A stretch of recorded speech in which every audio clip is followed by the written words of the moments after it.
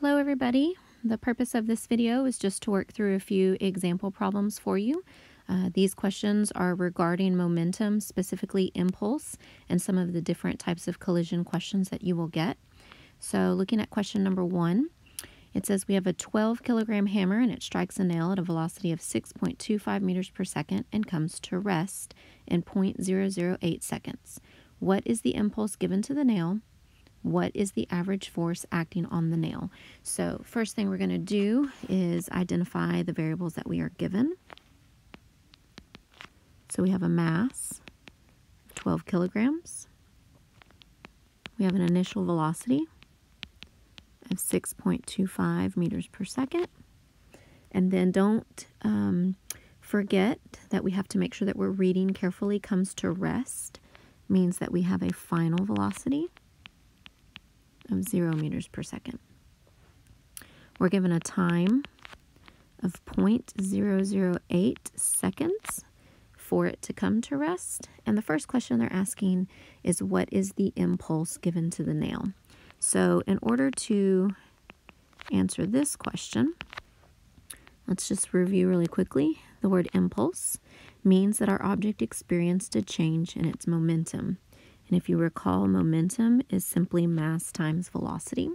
So if an object experienced a change in its momentum, that means it experienced a change in its velocity. So in this particular problem, we are going to calculate our impulse by multiplying mass times the change in velocity, which is VF minus VI. So my impulse is 12 times 0 minus 6.25. Just a friendly reminder to make sure that you always plug your numbers into the formula exactly the way that the formula is, is written. And yes, in this case, we end up with a negative change in velocity because our object decreased in speed. So we get negative 75 uh, kilogram meters per second. And then looking at the numbers that we used in this calculation, uh, we technically should make this 3 sig figs. And I'm going to write kilogram meters per second as my unit here because that's what I was using in the numbers that I plugged in were kilograms and meters per second. Impulse can also be expressed using Newton seconds, but I did not use newtons or seconds, so I chose not to make those my units for this question. Part two is asking, um, what is the force that caused this impulse? So impulse can also be expressed as the force applied over some time, which causes the object to experience its change in momentum. So for this question, if we are solving for our force, we would need to rearrange by dividing both sides by t so force is impulse divided by time. So F equals negative 75 divided by 0.008, which gives us not, uh, negative, sorry, 9375 newtons. This is a negative value for my force because it's working to oppose the object's motion or it would be in the negative direction to the motion. Again, considering sig figs, we would round this to a negative 9400 newtons. Okay, question number two. A 238 kilogram car moving at 19.1 meters per second in the x direction hits from behind a second car moving at 12.4 meters per second in the same direction. If the second car has a mass of 790 kilograms and a speed of 14.1 meters per second right after the collision, what is the velocity of the first car after this sudden collision? So this is obviously a collision question. I find it helpful to just sketch a little picture for myself. It helps me to organize um, what belongs where and I also find it useful in pairing up my units, um, sorry, my variables together so that I put the right combination of mass and velocity for that specific object. So our first object has a mass of 238 kilograms, and it says that it is moving in the positive direction or to the right with a velocity of 19.1 meters per second. The second object is moving with a velocity of 12.4 meters per second, and it says in the same direction, so also to the right. This car has a mass of 790 kilograms. Okay, so they're going to collide. All right, so after the collision, we're given some more information, which indicates for us that these two objects remained separate. So object one, object two, those masses do not change.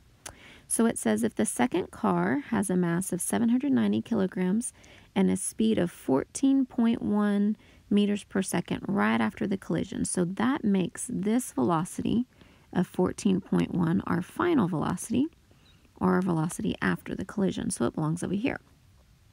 What is the velocity of the first car after the collision? So this is what they're asking us to solve for. So looking at our momentum formulas, we would have m1v1 plus m2v2 is equal to m1v1, oops, sorry, 1, plus m2v2.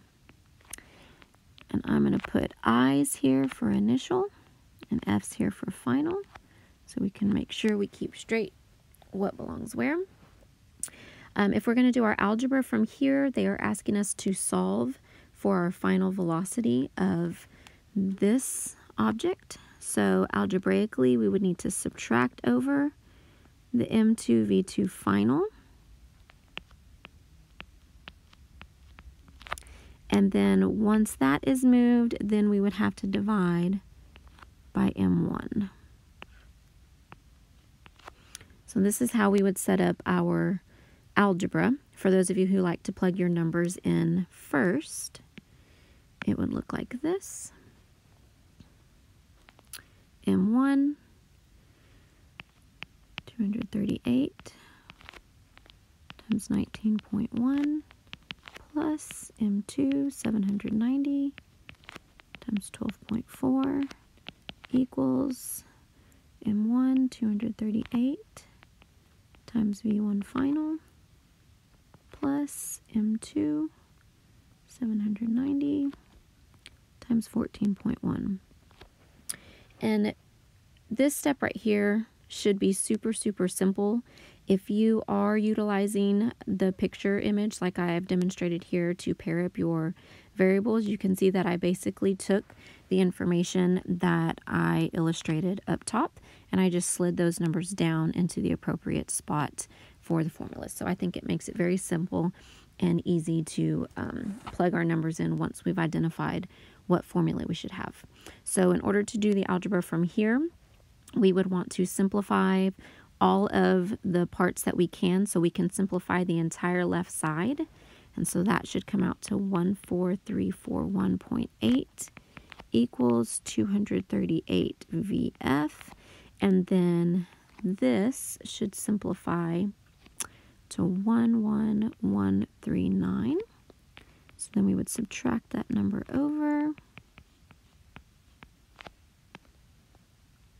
And this would give us 3202.8 equals 238 times VF. Then we simply divide.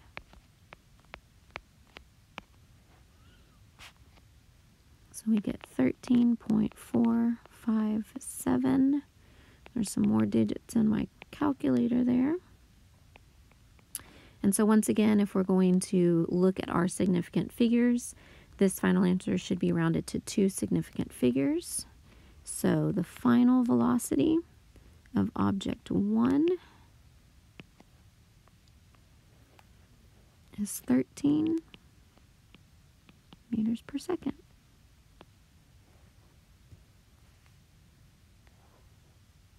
Okay, next question. Josh is riding his skateboard at 1.39 meters per second which has a mass of 0.377 kilograms when he falls off. His son Sam, who has a mass of 12.5 kilograms, jumps onto the skateboard, and together he continues traveling at 2.15 meters per second. What is Sam's velocity when he jumped onto the skateboard? So for this question, um, we have two objects that begin separate. And then they're going to end up together or connected. Um, this question you may need to read again to comprehend exactly what is happening in the story. But basically, we have a skateboard that is moving forward, and then Sam jumps on top of it. So over here, Sam and the skateboard are now connected. Okay, so reading through the problem, we can see that this skateboard has an initial velocity of 1.39 meters per second, a mass of 0.377 kilograms. Sam has a mass of 12.5 kilograms. And then together, they will travel with a velocity of 2.15 meters per second. So our formula would be m1v1 plus m2v2 equals m1 plus m2 times our final velocity. They have a shared velocity because they are now moving together as one combined object. So this question is asking us to solve for the initial velocity of Sam. So this is going to be our unknown, okay? So uh, we would want to manipulate this formula in the same manner as the previous question. We would need to subtract over our M1V1 initial. And then, and then we would need to divide by our M2 in order to isolate the initial velocity of our second object, which would be Sam in this particular question. Um, for those of you who would like to plug your numbers in first, this gets set up as 0.377 times 1.39 plus 12.5 times V2 equals, and then here, I didn't write anything in the picture, but Sam's mass does not change. The skateboard's mass does not change. So we're simply going to plug those numbers in.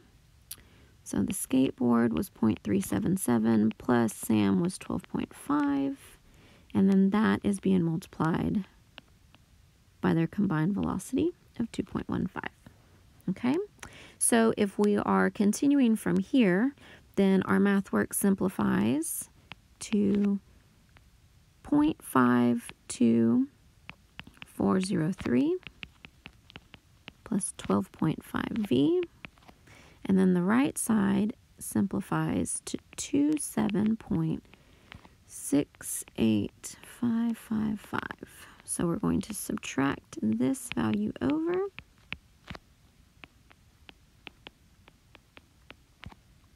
Okay, so 12.5V is equal to 27.16152, and then we're going to divide by that mass.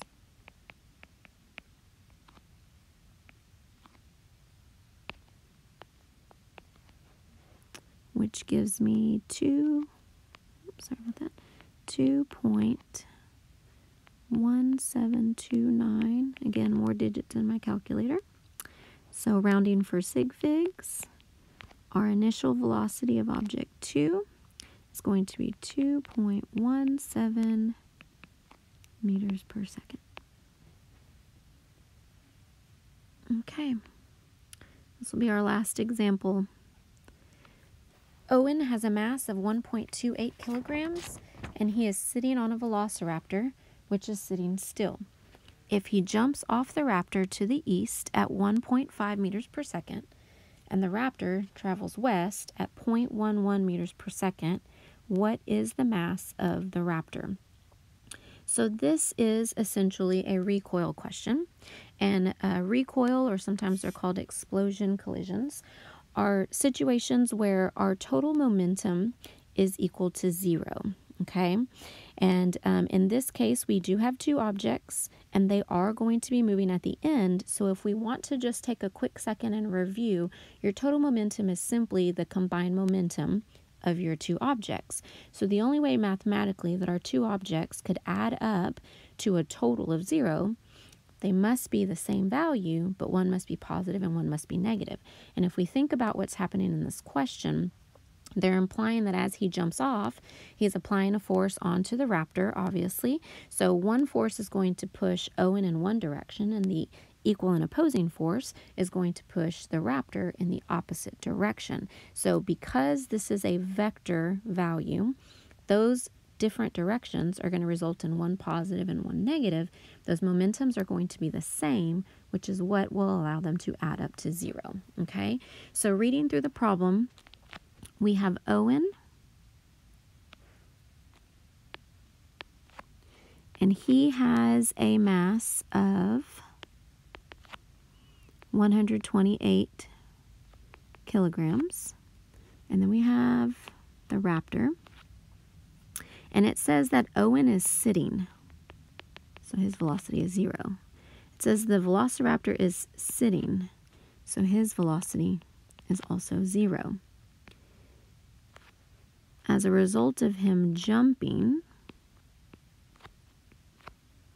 we now see that Owen jumps off the raptor and he is now moving east and the raptor is traveling west. Well, I guess I should switch these labels so it makes sense for our story. Sorry about that. Okay, so Owen is now going to be moving at 1.5 meters per second to the east, and the Raptor is going to be moving at 0.11 meters per second to the west. So here is our setup. Our formula would be M1V1 plus M2V2 equals M1V1 plus M2V2. Remember, the left side is your initial, the right side is your final. In our illustration, we can see that both of these objects have a velocity of zero initially. So it doesn't matter what you multiply by zero, it all becomes zero. So both of these momentums are going to end up being zero. So this whole left side is just a total momentum of zero. On the right, uh, we were given the mass of Owen, but we were not given the mass of the raptor. And that's actually what they're asking us to solve for. So we're going to plug in our numbers here, and we would see that we have m times 0.11 plus 128 times 1.5. Now, if we go back and read again carefully, it says the raptor is going one direction and Owen is going the other. So again, remembering that velocity is a vector, we must use positive and negative values in order to illustrate that. So the velocity of the raptor actually needs to be indicated here with a negative 0.11. If you fail to put that negative in, then it will affect um, your calculation, okay? So then we're going to simplify what we can and then do our algebra. So this simplifies to 192. So then we're going to subtract that over to both sides. So negative 192 is equal to negative 0.11 meters. So then we divide that. And we get a mass of 17 45.45, and that ends up repeating. Considering our sig figs here, um, this should be 1700 kilograms. Just a friendly reminder that your mass is a scalar quantity, so it should always end up as a positive number. if you're doing a calculation and that is not the case, you should probably go back and look um, at your math work to see where your mistake was, okay? All right, um, for those of you who are wondering if there's maybe a quicker or easier way to approach this problem since the whole side ended up being zero, yes there is. I'm going to take a quick second and show you that right now. So anytime we have a collision, um, sorry, a recoil question or one of these explosion type questions, we are um, understanding right off the bat that our total momentum is zero on one of the sides. Some questions it'll be the initial that will be zero, other questions it will be the final. But what you need to understand is if that one side is zero and we're solving for something, the only way that we can do our algebra is to move one of these momentums to the other side. So when we do that, we must subtract that variable over. And so what this simplifies